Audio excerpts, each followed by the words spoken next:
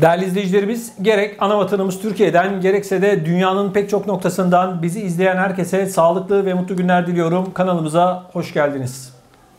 Bildiğiniz üzere ben bu ekrandan defalarca özellikle Avrupa'dan Türkiye'ye gidiş gelişlerde gümrük kurallarının dışında sakın ola ki yanınızda para, altın, yiyecek vesaire ne götürün ne de getirin diye uyarılarda bulundum. Yine değerli izleyicilerimiz akıl almaz bir olay meydana geldi. Almanya'da yaşayan karı koca vatandaşlarımız Frankfurt'tan İstanbul'a gitmek için Frankfurt Havalimanı'na geliyorlar. Frankfurt Havalimanı'nda yapılan aramada üzerlerinde tam 48 bin euro para bulunuyor. Üstelik değerli izleyicilerimiz paralar kadının iç çamaşırlarının içerisinden çıkıyor. Olay şöyle cereyan ediyor. Yapılan güvenlik kontrolünde kadının X-ray cihazından geçerken sinyal verdiği ortaya çıkıyor. Soruyor görevli polis, üzerinizde ne var? Kadın benim üzerimde hiçbir şey yok diyor. Çantalarımızı vesairemizi zaten X-ray'e bıraktık arayabilirsiniz diyor. Daha sonra tekrardan X-ray cihazından geçiyorlar. Yine sinyal veriyor. Bunun üzerine kadın özel bir odaya alınıyor. Yapılan üst aramasında çoğu südyenin içerisine saklanmış 48 bin euro para ele geçiriliyor. Şimdi kocasının üzerinde para yok. Tutmuş karısının iç çamaşırlarının içerisine bu kadar parayı kendilerince, kendilerine herhalde çok uyanık salıyor bu vatandaşlarımız, saklamışlar. Şimdi kocasına öncelikle birkaç sözümüz olacak tabii ki. Bir, siz nerede yaşıyorsunuz? Uzayda mı, dağda mı, nerede yaşıyorsunuz? Bu X-ray cihazının öteceğini, sinyal vereceğini bilmiyor musunuz? Bu kadar parayı gümrükten geçirmenin yasak olduğunu bilmiyor musunuz? 1960'ta mı kaldınız? Kaçta kaldınız? Ya kızıyorum kusura bakmayın ama ya bu kadar da olmaz. O kadının düşürülmüş olduğu durum, kadının düşmüş olduğu durumu düşünebiliyor musunuz? Havalimanında yakalanıyorsun, iç çamaşırının içerisinden para çıkıyor. Soruyorlar bu paralar nedir? Ne cevap vereceksin? Diyorlar ki biz yıllardır karı koca çalıştık. Bu paraları biriktirdik. Türkiye'de de ev alacağız diyorlar. E tamam güzel. Parayı neden peki bu şekilde götürüyorsun? Çünkü belli ki kayıt dışı bir para. Ya sosyal yardım alıyor. Ya para işte evde tuttu bankaya koymadı bunu açıklayamayacak bir şekilde götürecek bu parayı. Yani kıymetli izleyicilerimiz ne yapıyorlar? Gümrük kuralları gereği değerli izleyicilerimiz bu paranın kaynağını bir kere söylemen gerekiyor. Bir kişi nakit en fazla 9999 euro götürebilir. İki kişi 20 bin euro diyelim. Altın olarak da 423 euro değerinde günlük takılarınızı götürüp getirebilirsiniz. Bunun dışında bir parayı gümrüğe kaynağını göstererek beyan etmek zorundasınız. Bakın çok soru alıyoruz. Siz gümrüğe girdiğiniz zaman ister arabayla gidin, ister uçakla gidin. Eğer bir kişinin üzerinde 10 bin eurodan fazla para varsa ve bu parayı örneğin bankadan çektin, kredi çektin. Gümrüğe diyeceksin ki evrakını göstereceksin. Ben bu parayı kredi çektim. Ben bu parayı şu hesabımdaydı çektim makbuzunu göstereceksin, beyan edeceksin. İlla böyle gidecekse. Ya da kredi çektiniz bir şey oldu. Bankadan Türkiye'ye havale yoluyla göndereceksiniz. Size iki gün sonra mektup geldiğinde kaynağını açıklayabiliyorsan sorun yok. Ama bu tür sosyal yardım al, kaçak göçek orana burana bilmem nerene parayı sakla. Gümrükte yakalan rezil ol.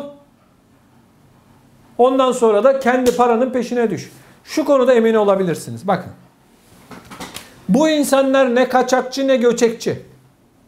Kaçakçı, göçekçi bile bile üzerinde bu kadar parayı havalimanından gelip geçirmez arkadaşlar. Bilir ki X-ray'de ötecek, çıkacak ortaya.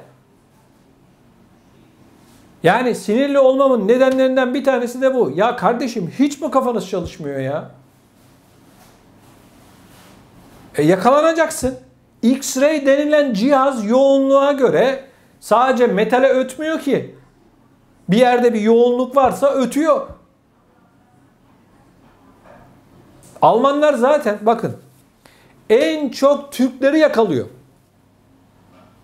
Para yakalıyor, altın yakalıyor, çökelik yakalıyor, peynir yakalıyor, lahmacun yakalıyor. Ne ararsan var. Kavurmasına kadar var. Hepsi bizde hepsine de cezayı kesiyorlar, paraya el koyuyorlar.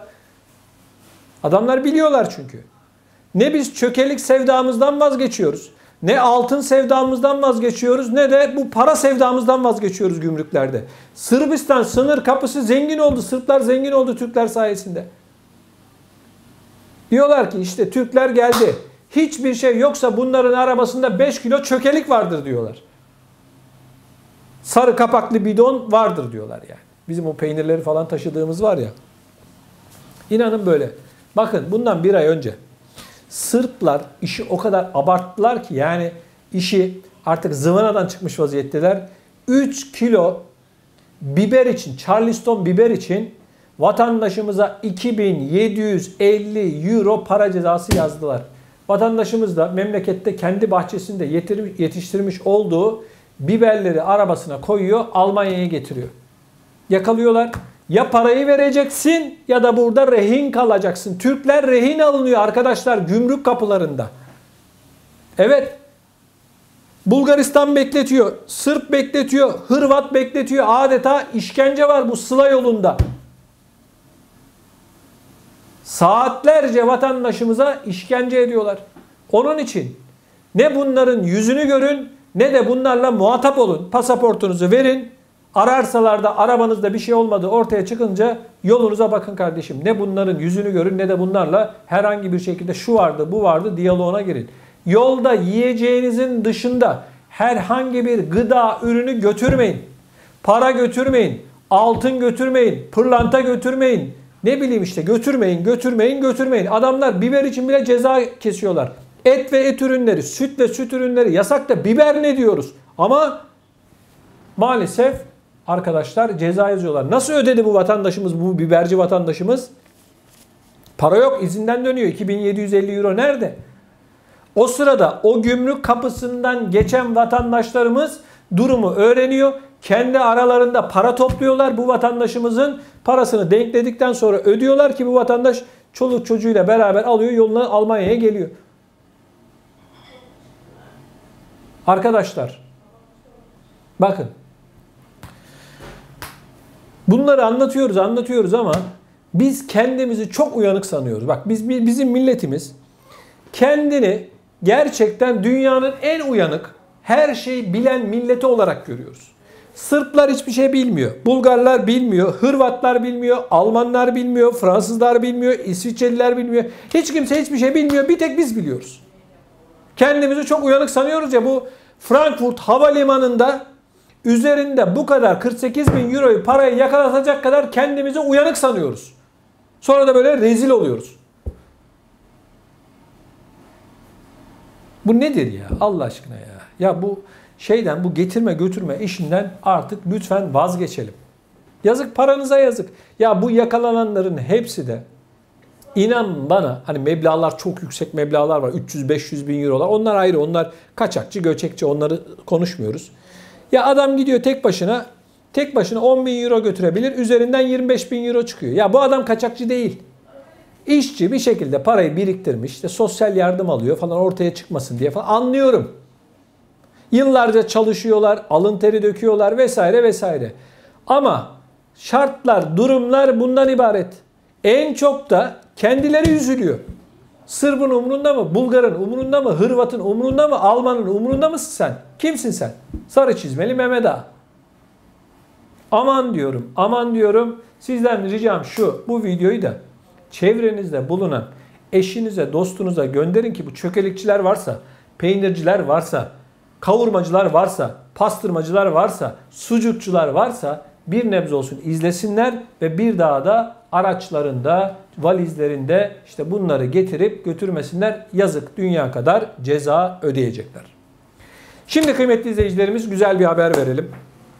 Eğer yurt dışında yaşıyorsanız ve Türkiye'de benim de eşimin de ailemin de bir emekli maaşı olsun diyorsanız önümüzdeki ay başlayacak olan çok büyük bir emeklilik fırsatını sizlerle paylaşıyorum. Emekli TV sizler için bugüne kadar hiç yapılmayan çok büyük bir emeklilik danışmanlığı fırsatını ayağınıza kadar getiriyor. Türkiye'ye gitmenize gerek yok. Nerede yaşıyor olursanız olun, emekliliğinizle ilgili ilk adımı atmak için, tüm emeklilik işlemlerinizi yaptırmak için, durumunuzu öğrenmek için, emekli maaşınıza kavuşmak için şu anda ekran altında görmüş olduğunuz artı 90 546 102 41 42 numaralı WhatsApp hattına hemen ben emeklilik danışmanlığı almak istiyorum diye mesaj atın.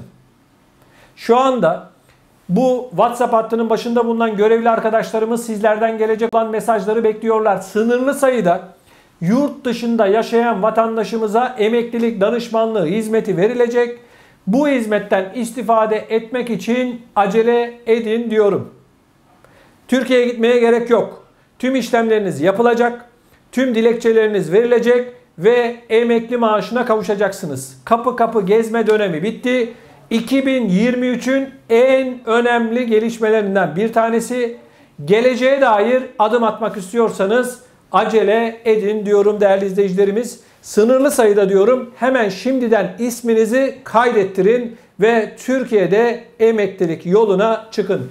Tüm vatandaşlarımıza şimdiden hayırlı uğurlu olsun.